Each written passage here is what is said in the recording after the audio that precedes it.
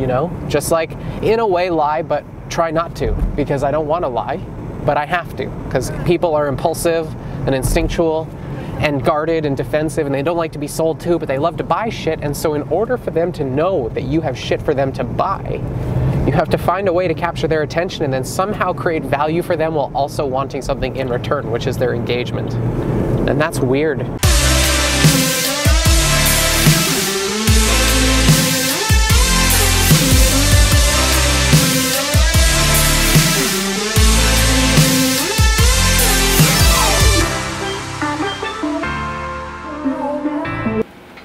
Um, totally unrelated to work, but when we were at Hearth and Home, we saw two domesticated rabbits that had clearly been let outside inappropriately, and uh, spent like 50 minutes trying to catch them.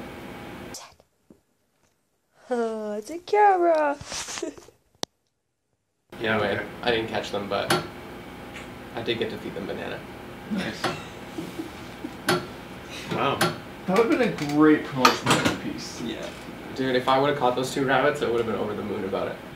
So, what I would like to do is I also spent some time brainstorming names for the show because it needs a name better than the show because that's not a name. Daily Genius Live. Okay. I mean, I understand. I want to hear the other ones. Yeah. Live AF.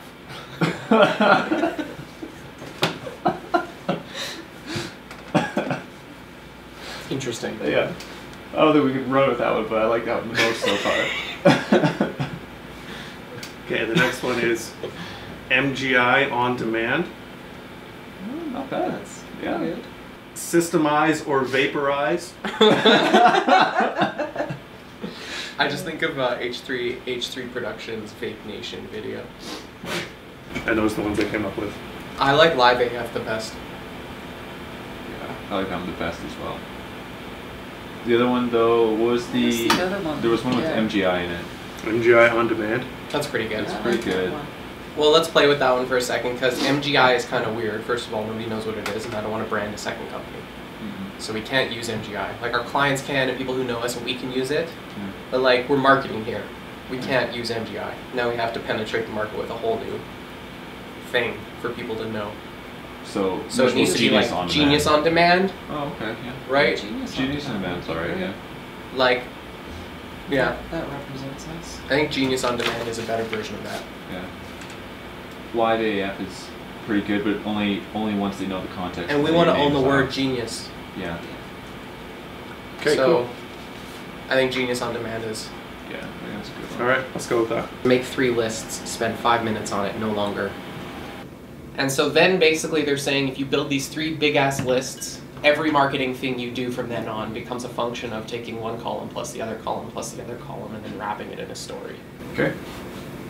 Five minutes on the clock. I need to pee first. Are we the marketing department, Rick? We are now. okay. It's evolving. Go. They have goals. Okay. They know what they're doing every day and a clear path to get there. Someone to call when things break. A team of people with experience in execution. We're polymathic, so we can execute on a variety of projects, not just. So less conflicting opinions. Uh, the processes get defined. they end up yeah so they end up with like the, the value of their company goes up dramatically a company with a process manual versus a company without one can be worth twice as much they don't want to market because they don't believe in themselves they don't like the idea that by building a plan they lose their flexibility and their freedom They're afraid of delegation. they don't trust people, so they're going to have to trust people. That's something that they're afraid of. They're going to have to be okay iterating and not having it be perfect the first time. They're going to have to become clear and decide what it is they want instead of living in the world of possibility. Even if you've never written a business plan before. Even if you think you can't afford it or you can't invest in the team to help you. Even if you think you don't know what you're doing. Even if you're just starting out and you don't feel sophisticated. I don't have time to stop and plan. Even if you think you don't have time to stop and plan. Yeah. Awesome. Okay, thanks team. We didn't do any meeting Snapchats.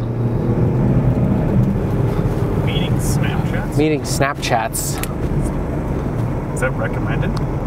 It's just something that in general I avoid, but absolutely I'm going to start doing. Is like a ceaseless promotion of self in a way that's both humble and narcissistic, both praising and yet totally balanced, totally pleasing of others, but really entirely my own voice. We're going to strike a perfect balance of all of those things in telling the world about how great it would be to work with us. Well, lovingly making them aware of the drawbacks, but not in a way that would discourage them from reaching out and expressing interest in who we are and what we can do to help them and transform their lives into whatever hell, or from whatever hell they're in to whatever heaven they want to be at. But in saying that, I make it sound like I'm the only person who has any drawbacks because most other people aren't going around being like, hey, I'd love to work with you, and just so you know, it's going to be difficult, tumultuous, painful, likely something that causes you to feel insecure and anxious, neurotic, um, confused, and overwhelmed with data. You're going to be challenged by my bluntness and me calling you out on the shit that you have to face in your life to become the leader that you need to be in order to make progress and to develop your acumen of leadership, which involves making other people aware of drawbacks and negotiating and fuck. It's just like this thing. And so I want to grow my company, and so I need to promote. Promoting is a complicated topic. I didn't have enough lunch. We need to hide snacks in this vehicle. I'm gonna ask Jason if he has any snacks. Do you have any snacks? Oh my gosh. Do you have any snacks? There was a Clif bar at you. Is that your own? I got own? a couple more in the truck. Do you? Yes. Thanks. Let me ask you this question. Um, where are you? Where would you feel most comfortable injecting this product offer in the sequence? Because there's kind of two ways to approach handling lead acquisition for the company moving forward, Yeah. which is to generate interest first in the company and then retarget with specific offers based on those who've expressed interest and how they've behaved Right. or sell at a product level and try to basically capture cold traffic and then position a product and sell the product and that becomes the gateway to the company. I think we should sell the company and that gives us a whole world of targeting and lead acquisition options. But it means we're, we're, we're going through multiple campaign steps to get them to actually being qualified into a product category for a purchase, right? not do both? Yeah. It's just, yeah, then it just comes down to sequencing of effort, right? Yeah. And so the thing is, it's a bit of a, it's a bit of a rabbit hole if we go the product way first. Because here's the risk. We've done a landing page for a specific product. Now we're going to put that on the shelf. You've had sunk capital labor costs there. Yeah. And now we're going to put another funnel out there for a product. And then when we run that ad set until we have ad fatigue or it's the wrong season or you want to switch focuses, that goes on the shelf. And then it's like, okay, well, what do we do now? We kind of get stuck being the cobbler's cobbler's son, you know, with the whole buying cheap shoes every month instead of a good pair every year. Like there's a really well proven traffic acquisition strategy for service based businesses here in Calgary that I've talked to in your industry, but nobody's really will, willing to jump in and do it. Right. Which is to do the, um, it's called carpet bombing, and I've mentioned it to you a couple Yeah. times. Carpet bombing is basically a strategy where we build a Facebook campaign, two Facebook campaigns. The first Facebook campaign is a video. The only targeting we do on this is demographic. We don't do any uh, postal code restriction. Then what happens is people either watch the video or don't watch the video. Right. So this ad runs, and then we do a second ad with the offer. And this ad is targeted to anyone who watched 75% or more of that video. If you were to say, Alexander, moving into 2018 as a service based provider, what would you do to sell my company? I would answer with this 100%.